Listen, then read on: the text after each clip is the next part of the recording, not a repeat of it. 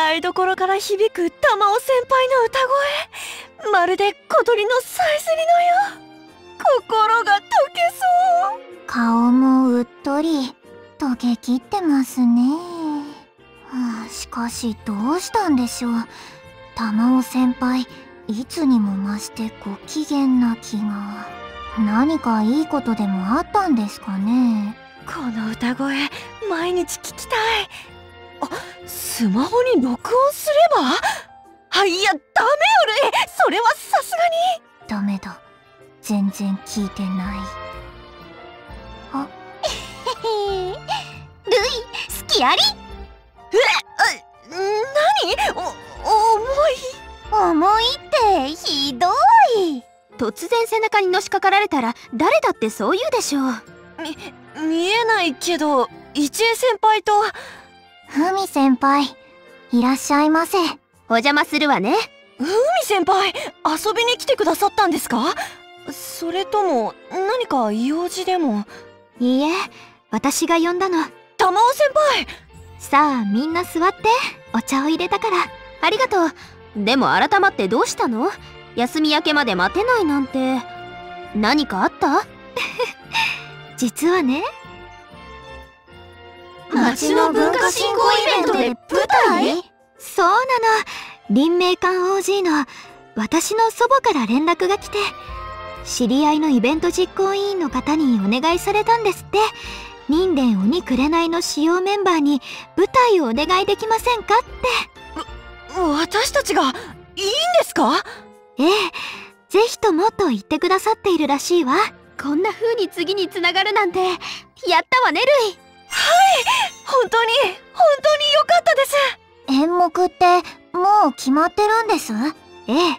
歴史深い馴染みあるものでとお願いされて。この脚本をもとに浦島太郎を上演してほしいと頼まれたわ。おお亀にさらわれておじいさんになっちゃうやつ。展開カットしすぎだし絶妙に間違ってるから。えー、っと確か漁師の浦島太郎が村の子供たちにいじめられている亀を助けて。お礼と言われ海底の竜宮城に連れられて乙姫に出会い連日連夜飲めや歌えの大騒ぎこの世の極楽を味わうんですな。あっという間に月日は流れそろそろ地上に戻ろうかとした浦島に乙姫は玉手箱を手渡します。決して開けてはなりませんと念をして。で地上に戻ったらびっくり。家も村もなくなってる。海辺にいた老人にここに浦島なんて人間は住んでいないって言われるのよね。そう浦島が竜宮城で過ごしているうちに地上では3年どころかはるかに長い年月が経っていた。悲嘆に暮れた浦島は自暴自棄になって玉手箱を開けてしまいます。その途端煙がもくもくもく。浦島太郎はおじいさんに大変身。一恵が最後を締めるとコメディみたいになるわね。捉え方は人それぞれだけどお話の流れに差はないみたいね。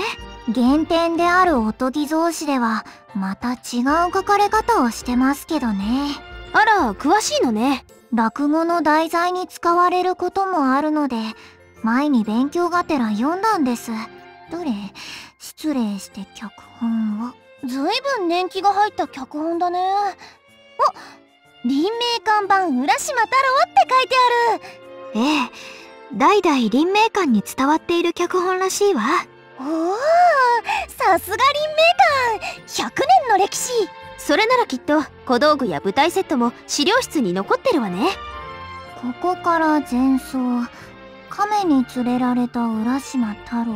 ステップを踏みつつ舞台中央へ竜宮城にやってきた浦島太郎を歓迎しつつタイとヒラメでパートナーを作りダンスを始める。あれ？これってミュージカルなの？実はそうなの。5人用にアレンジするとダンスパートはかなり多くなると思う。技術と練習が相当必要になるってわけね。ええでもこの話受けたいと思っているの。課外活動になるし毎日の課題や稽古と並行しなきゃいけないから大変だと思うけど。うんやろう。絶対やりたい。そうね。学校以外の場所で自分たちだけで舞台を作る機会なんてめったにないもの。はい。私も皆さんと一緒に浦島太郎やってみたいです。元ある素材を生かしてどんな舞台を作るか腕の見せどころですね。みんなありがとう。せっかくもらえた機会なんだもの。いい舞台にしましょうね。それじゃあ早速今後の指針を決めるためにもそれぞれの作業分担を考えましょうか。もちろん配役もね。ももうですか？学校と関係ない課外活動になるもんね。私たちだけで脚本の再構成と演出とあスケジュール管理もこれは時間がいくらあっても足りないぞ。なるほど。話し合いを長く取るより完成に向かわねばですね。それなら出番の多い役から決めていくとして。やっぱり浦島太郎と乙姫でしょうか。そうね。ついで竜宮の使いに竜宮の踊り子あとは亀をいじめる子供と海辺の老人と進行ナレーションって感じかしら役柄の性質的に亀をいじめる子供海辺の老人進行ナレーションは同じでいいんじゃないかしら？いいわね。それなら5役に収まるわ。あとはそれぞれの得意分野に焦点を当てて次戦と推薦をしていきましょうか。はいはい。私この竜宮の踊り子やりたいです。舞い踊りまくりたい。確かに一恵先輩の華やかなダンスなら竜宮の踊り子も合っていますがいいんですか？むしろ私以外にはできない役かなって。お客さんの視線を釘付けにしちゃうぞ。そうね。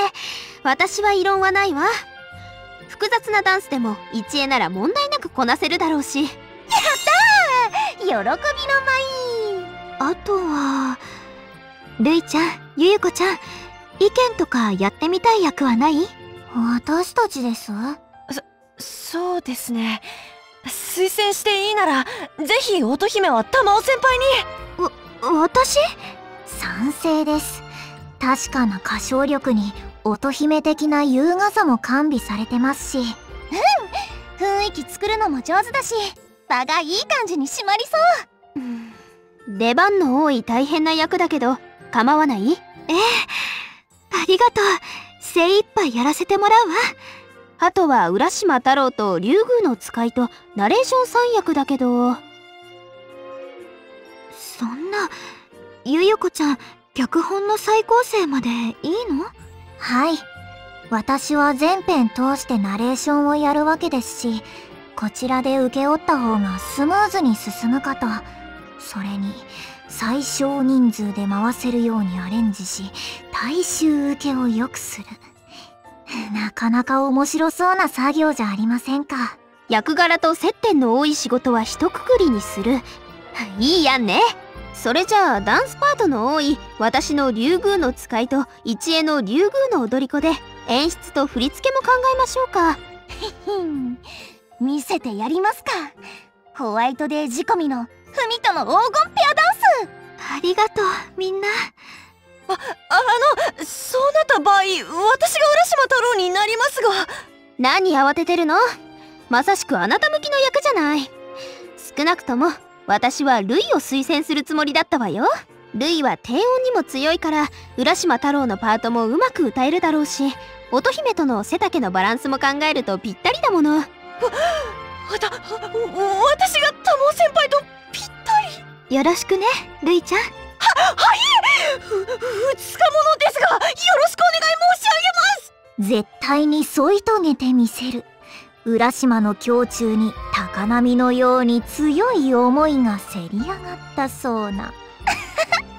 みんなやる気満々だ。ええスムーズに決まってよかったわ。あとは先方とのやり取りと全体の取りまとめだけどそれは私が受け持つからそれ玉緒が全部するつもりなの？乙姫役も大変だろうしもう少し分担した方が。大丈夫よ。私がやりたいの。そう？臨命感いえ私たちを指名してくれたわけだものね。どうしたって張り切っちゃうか。玉緒だったら大丈夫だと思うけど何かあったらすぐ言ってね。玉緒には私たちみんながついてるんだから。ええ。ありがとう一恵今はとにかくそれぞれがやれることをやらないとね。例えばほらダンスパートの振り付けとか。そうね。早速レッスンルームに向かいましょうか。はい。時間は無限ではないですからね。浦島太郎も身をもってそれを知りましたしね。みんな全力で行くわよ。ええ。私たちの臨命看板浦島太郎絶対に成功させましょう。はい。嬉しいたくさんの人たちにみんなとの舞台を見てもらえるなんてしっかり頑張らなくちゃ。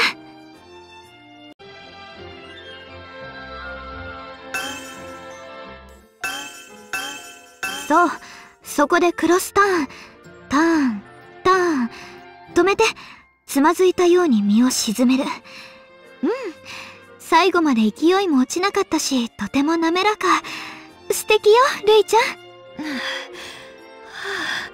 あありがとうございます、わざとテンポをずらしたり崩したりコミカルに見えて格式高い動き。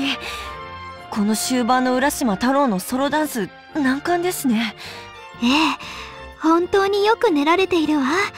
竜宮城での楽しい日々と戻らなければいけない現実で揺れ動く気持ち。男性的な力強い動きの中に浦島太郎の心の弱さが見える。これが一恵先輩と文先輩の演出でどう彩られるか今からとても楽しみです。そうね。ゆゆこちゃんの脚本でもどんな風に組み込まれるのかしら。玉緒先輩時計を気にしてる。みんなの進み具合が気になるんだろうな。乙姫だけじゃなくて進行の取りまとめもやってくださってるんだもん私ばっかり玉緒先輩に指導してもらってちゃダメだ。あの玉緒先輩まだ合同練習の開始まで時間もありますしゆっこのところに行ってみませんか？えだけどルイちゃんのダンスの確認はもういいの？はい。私はだいぶつかめた気がしますので。そう？よかった。それじゃあ少し様子を見に行きましょうか。はいそうだ。何か差し入れも持っていきましょう。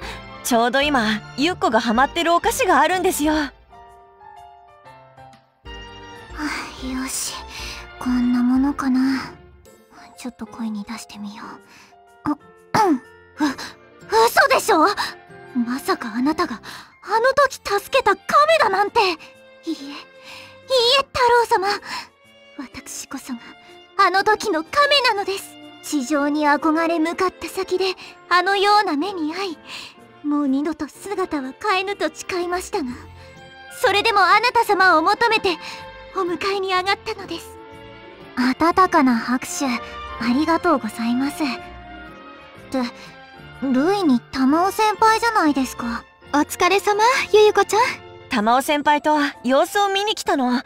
はいこれ。差し入れのトマトチップスおおそいつを選ぶとはお目が高い。ありがたくいただきます。喜んでもらえてよかった。ねえさっきのセリフって物語終盤のシーン？助けた亀を乙姫にしたんだ。斬新な発想だね。はあいえ。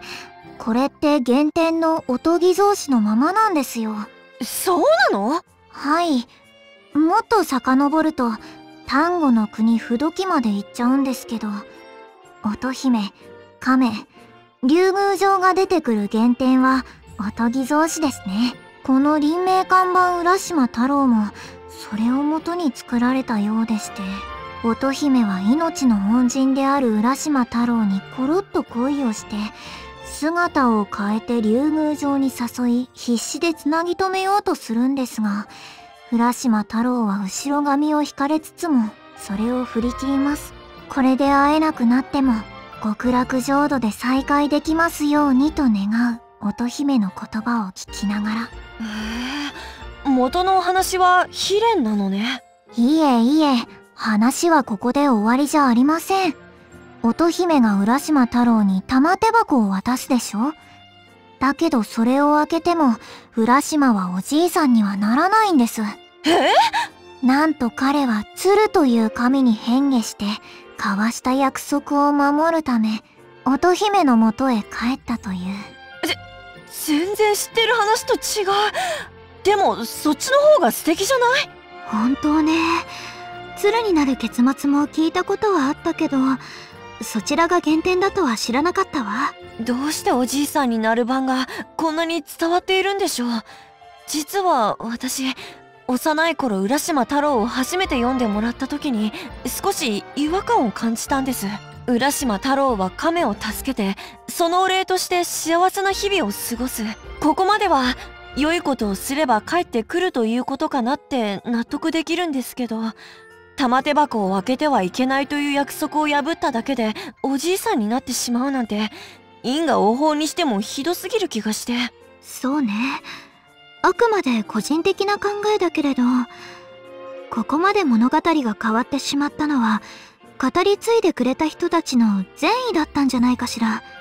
善意ですか？ええ。約束を破ってはいけませんってそういう教訓を伝えたくてお話を少しずつ変えていったんだと思うわ。悪意のない善意というやつですね。そんな心配しなくとも普通の人なら大切なことは守るのに。でも浦島太郎は結局鶴になる番でもおじいさんになる番でも約束を破って玉手箱を開けちゃったような。でも乙姫の元に戻るという一番大切な約束は守ったわけでしょ？ああ確かに。その話今知れてよかったわ。大切な約束は守る浦島太郎と自分を救ってくれた人に思いを募らせる乙姫。広く伝わった悲しい物語より共感できる。浦島太郎って役についてももっと深く理解できそう。などと言いつつ連母の情を募らせる乙姫の方に感情移入してしまうルイでございました。ちょちょっとそのナレーションは何？前もしてたしやめてよね？あいやいやただの練習ですよ。もうゆっこったら。練習も脚本の再構成もいい調子で進んでるみたいでよかった。でも困ったことがあったらいつでも言ってねお手伝いするから。ほうそれなら早速お言葉に甘えて。脚本は形になったのであとは整えるだけなんですがそれについてのアドバイスがあれば聞かせていただきたいです。私でよければいくらでも。それじゃあ明日までに答えられるようにしておくわね。ゆゆこちゃんの脚本コピーさせてもらっていいかしら。もちろんですがコピーならこっちでやりますよ。大丈夫よ。ゆいこちゃんは練習や脚本の再構成で疲れているだろうし少し休んでいて。るいちゃんもゆっくりね。そうですか？正直助かります。あありがとうございます。うん。それじゃあまた後でね。どんな時でも気遣いと優しさを忘れない玉尾先輩私もあんな風になれたら。そういった浦島太郎の方はサンゴのように赤く色づくのでございました。でだからそれやめてってば。うーみ。なんで背中にのしかかるのよ。前もルイにしてたし。今回は役作りのお手伝い浦島太郎を連れて行く亀の気持ちがわかるでしょ？私が亀の気持ちを理解してどうするのよ？いいから早くどきなさいはーい。はあ。それで浦島太郎を歓迎する場面についてだけど参考にする映像資料は集められた？うん。とりあえず賑やかな喜劇の映像をいろいろ集めてきたよ。この辺りの作品はペアダンスも多いから参考になるはず海一恵よかった。やっぱり教室にいたのね。おお玉尾荷物どっさりだね。もしかして何か差し入れとか？そうよ。一恵ダンスの信用の映像資料を探してるって言ってたでしょ？だから私の方でもいくつか集めてみたの。おおか解説本から昔懐かしのビデオテープまでそのビデオテープは学校の資料なんだけど私の名前で借りてきたから返却は私を通してね。あありがとう玉尾確かにすごく助かるわ。だけどここまで集めるのは時間がかかったんじゃない？あなただって忙しいんだから無理はせず自分のことに集中してくれていいのよ。無理なんてそんな。でも気遣ってくれてありがとうふみ。私そろそろ練習に戻るわね。ええそれじゃあ私たちはこの資料に目を通してから向かうから。玉尾後でね。ええ後でね。はあはあうん。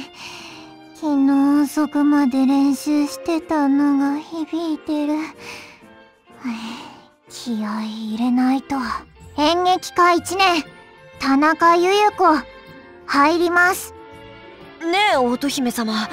あなたは助けた亀の話をするといつも口ごもりますね。あお疲れ様ゆっこお疲れ様ですルイ一人で練習してたんですか？うん。さっきまで玉尾先輩がいてくれたんだけど急遽イベント実行委員の人から連絡が来て打ち合わせお願いできますかって。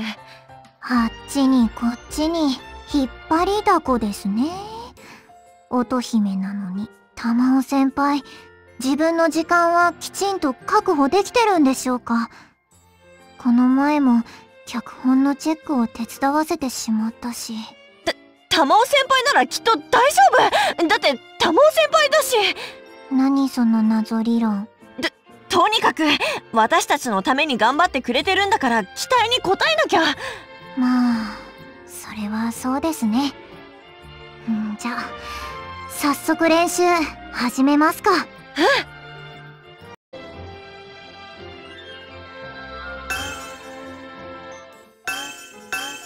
驚いたな。海の底にこんな美しいお城があるなんて。おや気のせいかな。周りの潮のうねりが穏やかに。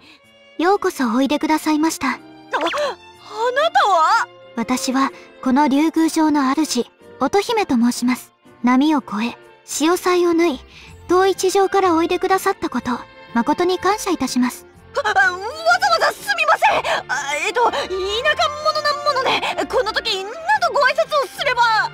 麗しい乙姫に慌てた浦島太郎は文字通りブクブクと泡を吹きました。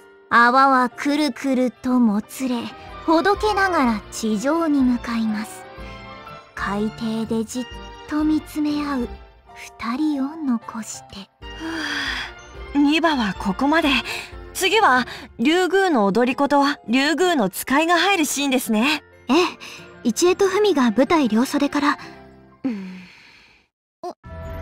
み玉尾さっきの演技は何？あなたは誰になったつもり？それは。答えられないのね。一恵撮っていた動画を見せて。うん玉をこれ。ありがとう。驚いたな。海の底にこんな美しいお城があるなんて。おや気のせいかな。周りの潮のうねりが穏やかに。ようこそおいでくださいました。玉尾これで分かったでしょ？ええ。浦島太郎は乙姫という神秘だけに動揺したんじゃなかった彼女の溢れる行為を察して戸惑っていたんだわ。私とるいちゃんのテンションが噛み合わないせいで作品理解の深い浦島太郎が浮いてしまっていたのね。そうよ。個人練習もだけど合わせる練習も足りてないわルイあなたもさっきの映像を見て気づいたでしょ？お互いの演技の噛み合わなさを。は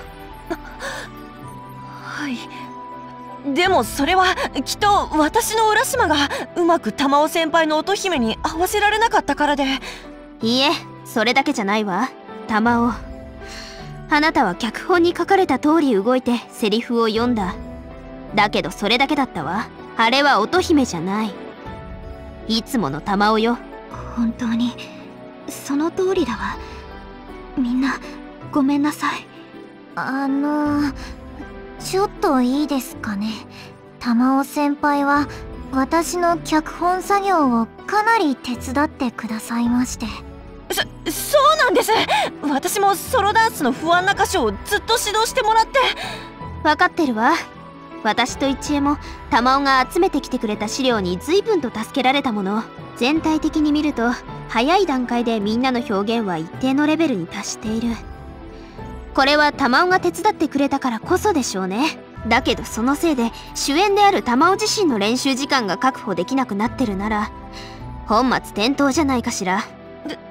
だけど玉緒先輩は善意で。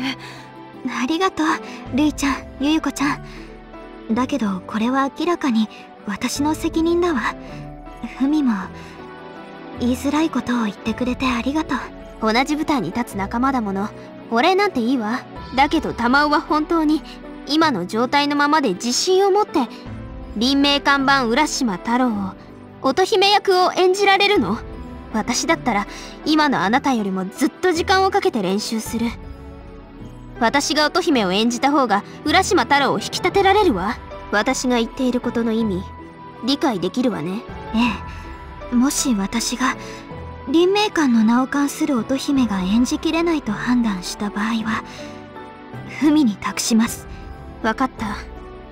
玉緒の乙姫がこのままだったら引き受けるわ。そんな！え？一恵さんどうして窓開けたんです？ちょっと空気の入れ替えしようかなって。絶妙のタイミングですな。新鮮な空気を吸った方が練習にも集中できるしねさあさあ時間もないんだし。今はひたすら稽古稽古。玉を悪いと2人のシーンの抜き稽古で。私とフミはダンスの振りをゆゆ子に確認してもらうってのはどうかな。ええいいわ。一恵ありがとう。私はただ換気しただけだから。でも玉緒これだけは忘れないでね。前に言った通り玉緒には私たちがついてるんだからええそれじゃあみんなそれぞれ分担して練習を始めましょう。玉緒先輩夜遅くまでお疲れ様です。これどうぞ。るいちゃん。はあいい香りね。はい。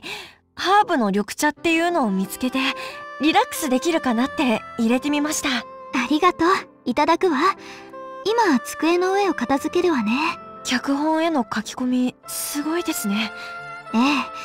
今はとにかく作品との距離を詰めないと本当は練習できればいいんだけどこの時間だともうレッスンルームは使えないものね。ああの今日のことなんですけど。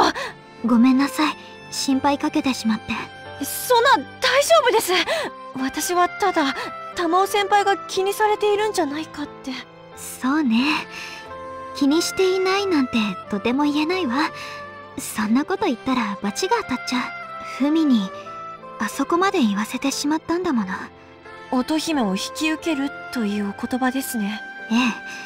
身近な仲間にあんな風に期待してもらっていることに言われるまで気づかないなんて。え期待ですか？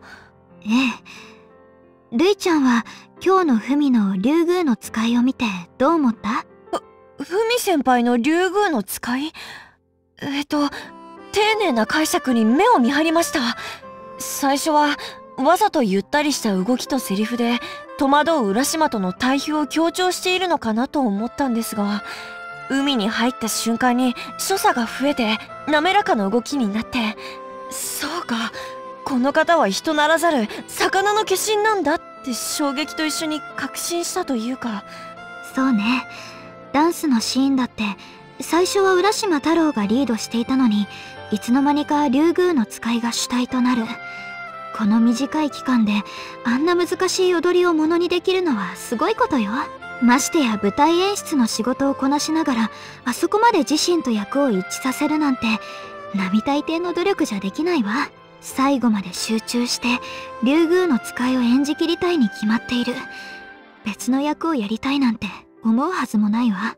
あそれでも乙姫がこのままだったら引き受けると言ってくれたの。このままだったらこのままじゃないって信じてくれたから言ってくれたんだと思うわ。そうか。そういうことだったんだ。私はこのままお二人が気まずくなったらどうしようってそんなことばかりで。お互いが信じ合えるからこその言葉だったのに。そんなこともわからないなんて。何よりどうして私は自分の演技の違和感に気づけなかったんだろう。どうしてふみ先輩みたいに玉尾先輩の問題を見つけてあげられなかったんだろう。うん理由は分かってる。今回の演目では玉尾先輩の一番近くに入れてその距離に喜んで甘えて無意識に頼る気持ちがあったからだ。胸に広がる苦みこの気持ち覚えてる。みんなごめん。ごめんなさい。私がしっかりしてないから。玉尾先輩。そんなことないです。先輩は。そうだよ。玉尾だけのせいじゃないよ。でもでも。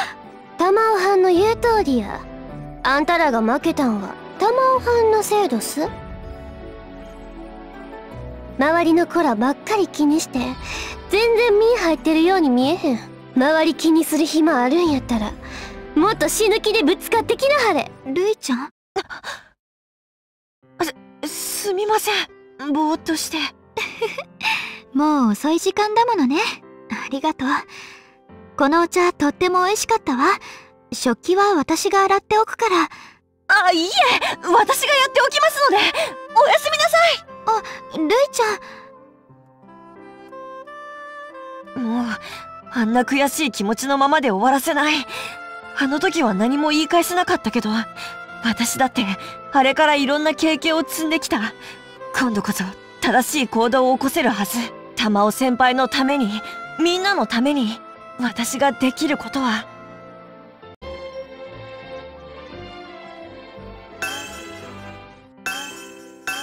ふみ先輩一恵先輩今少しいいですか？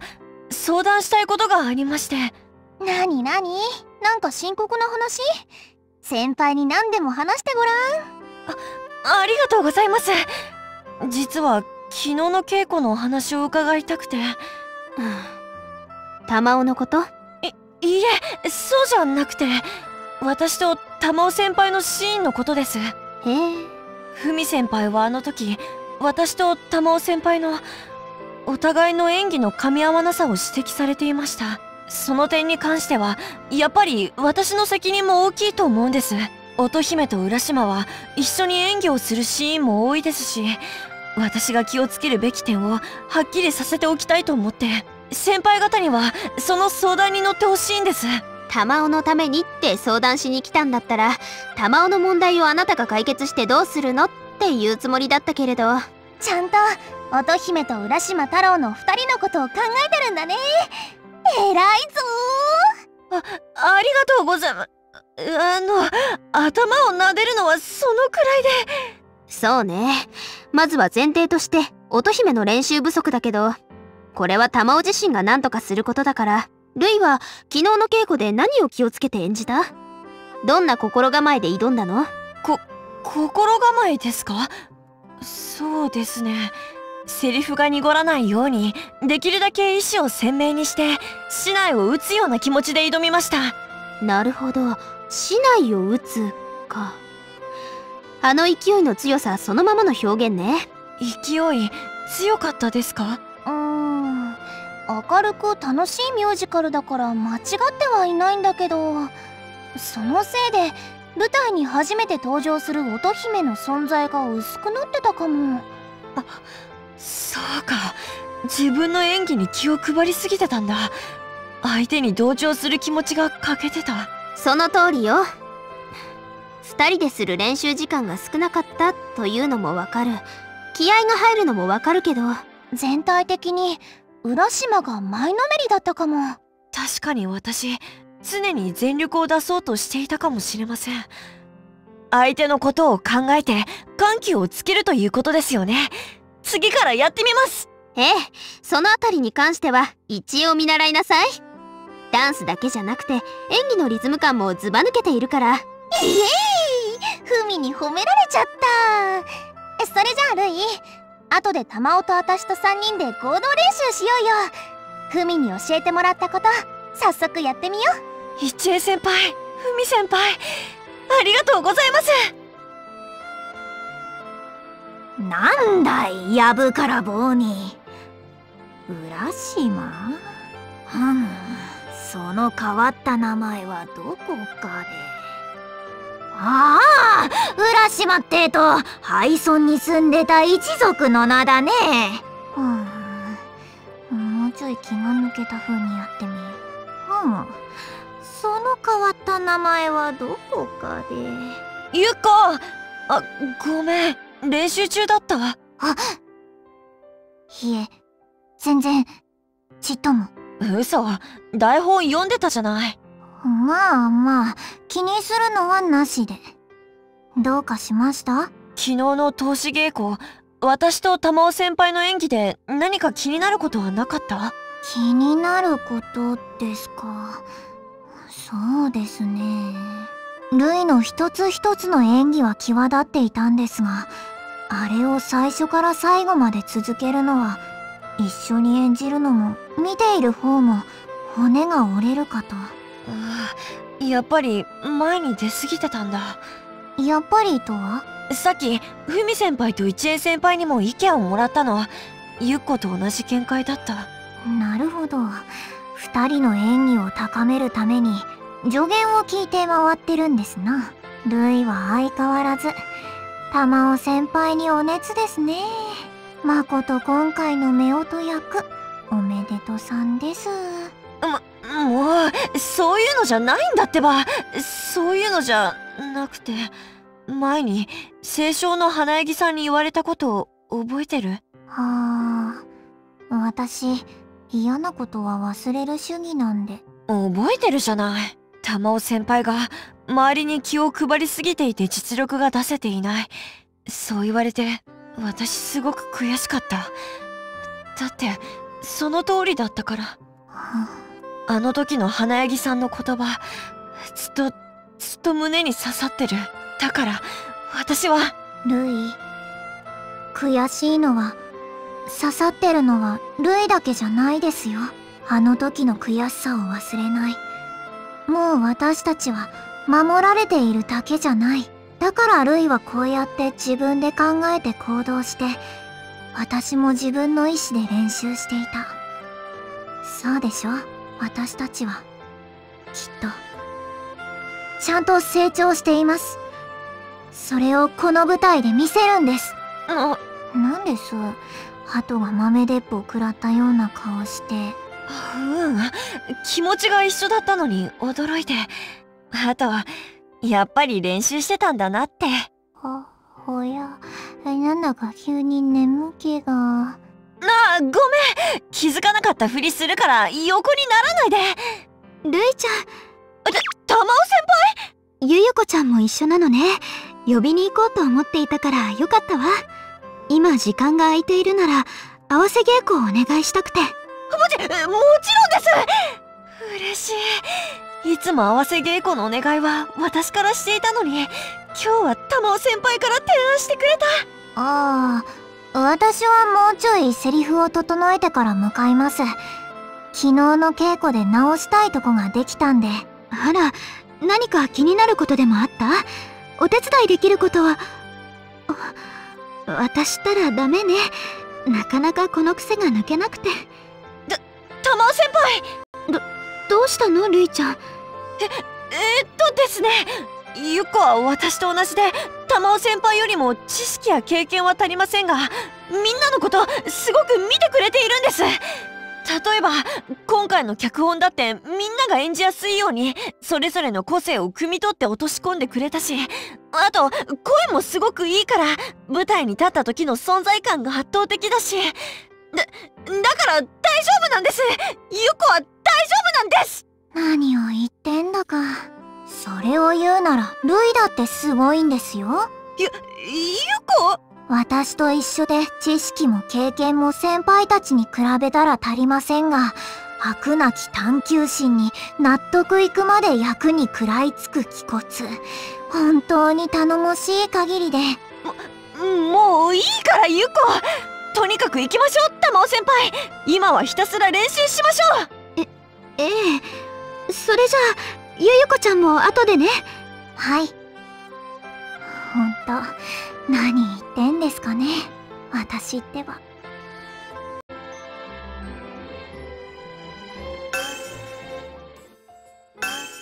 浦島太郎を竜宮城で出迎えるダンスシーン？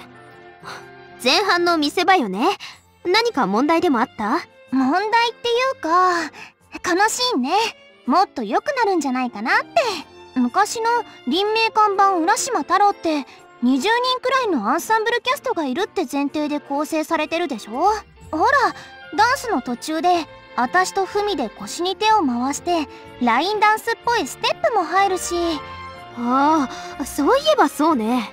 動きを上下に制限して大人数で華やかさを演出してる。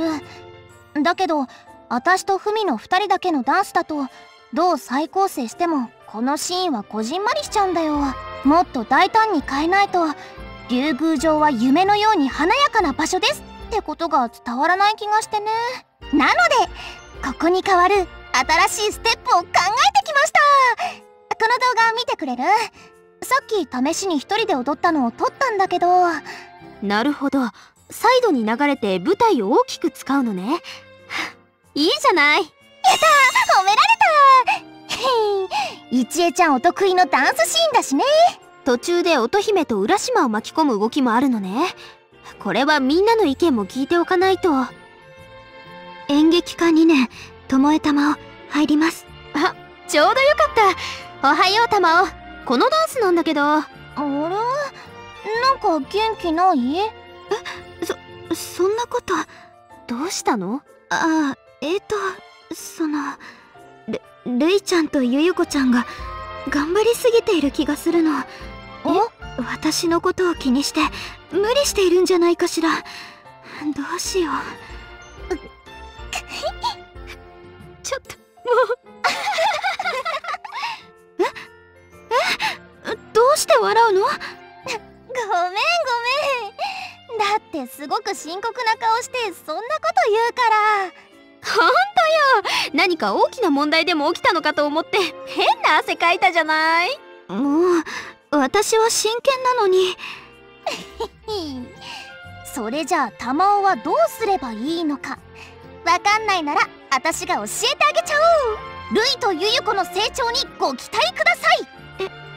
えー、そんな言い方じゃわからないでしょ？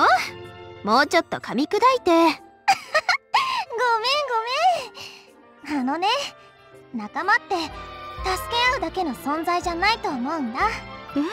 たまにはじっと見守って一緒に悲しんだり喜んだり心配し合うだけじゃなくて信頼し合うものじゃないかなって一恵ちゃんは思う。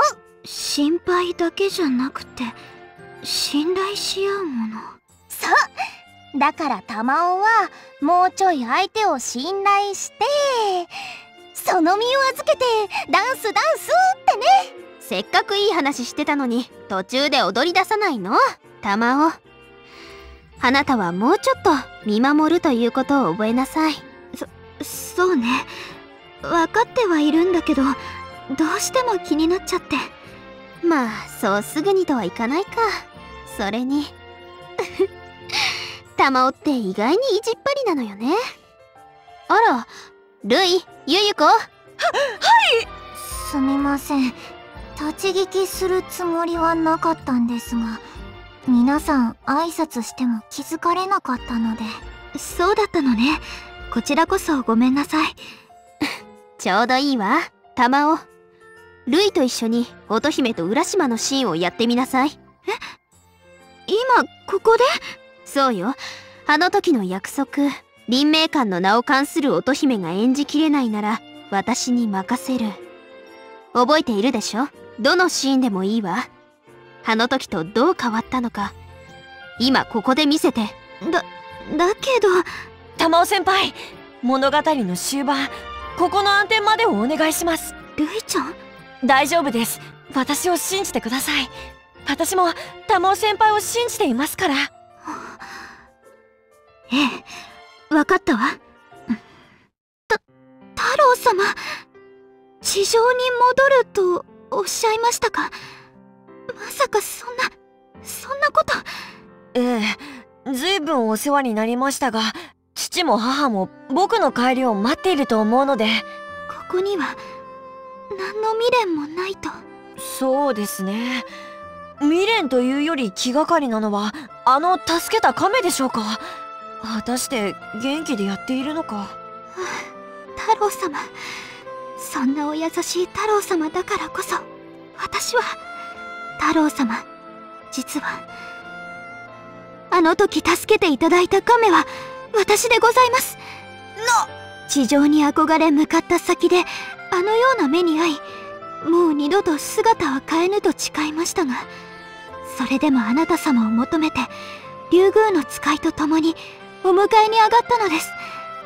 どうか哀れな女とお笑いください。どうしてです？なぜそこまで？それはあなた様を太郎様をお慕い申し上げているから。太郎様恋など愛など出過ぎたことは申しません。私はただあなた様の未練になりたい。乙姫様ありがとうございます。それならなおのこと僕は地上に戻らねば。添い遂げたい人がいると父母に報告したいんです、はあ、ありがとうございました。ありがとうございました。乙姫のセリフ激しいのに思いやりいっぱいでギューって胸に染み込んできたよ。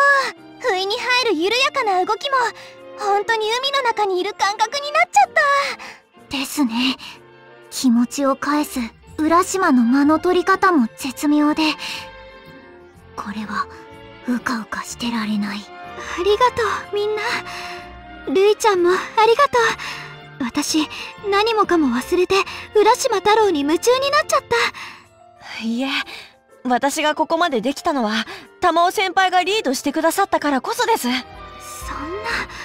玉尾先輩玉尾先輩にはこんな風に存分にきらめいてほしいんです。そうすれば私たちはそのきらめきを見失わない。隣に並び立てられるように思い切り走っていけますから、はあ、なんてまっすぐな目。すぐそばでこれだけ成長してくれていたなんて。玉尾これで納得したでしょ？ええ。見守るって難しいことじゃないのね。こんなに嬉しいことだなんて。私も乙姫は玉尾しかいないって納得できてよかったわ。それじゃあもう一度頭から通してやるわよ。準備はいいわね。はい。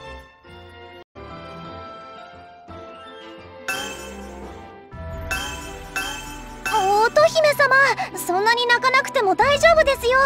浦島様帰ってくるって約束してくれてるじゃないですかそうですよ乙姫様。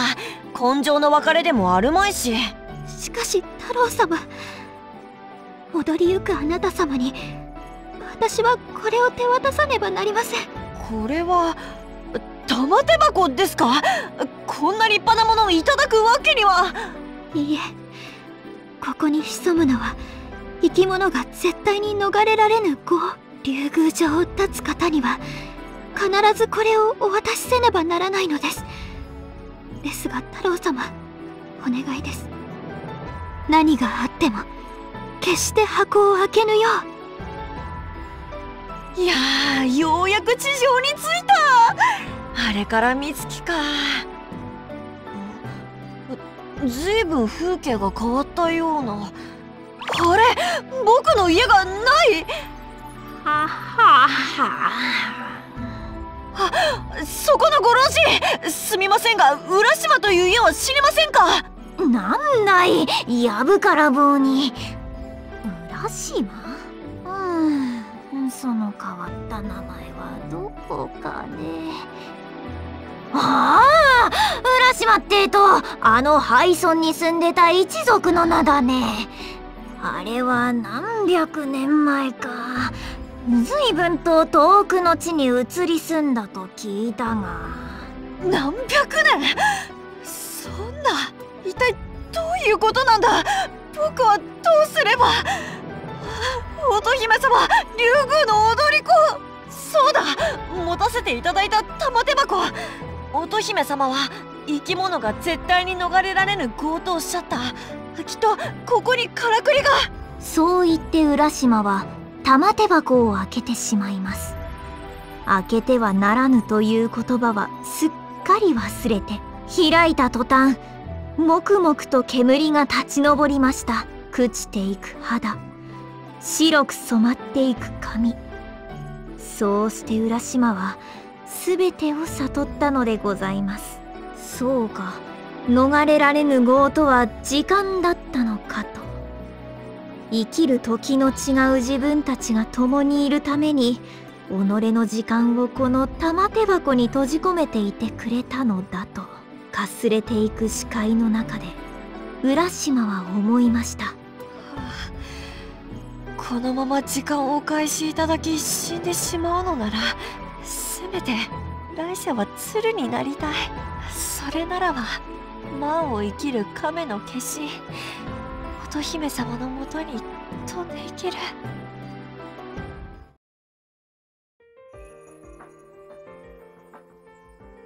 あなたに会えた夜は早くも過ぎ去り私は寂しく眠ります。そのまま夜は明けあなたはあの玉手箱を開けてしまった。残念なことです。こちらの歌は去った浦島に向けて乙姫が読んだものとのこと。しかしこの歌には返信。どうかはございません。なぜかって？それはあなた鶴に変化した浦島が直接伝えに行きましたからね。さて深い思いで結ばれた夫婦はニセのちぎりと申しまして来世でもこのように夫婦になると言います。深い思いというと皆さんは何を想像されるでしょうね？愛？友情？それとも信頼？いやきっとその全てでございましょう。上司と部下兄弟親子そして学校での先輩と後輩などなど。こうしてみるとなんとも尊いもんじゃございませんか。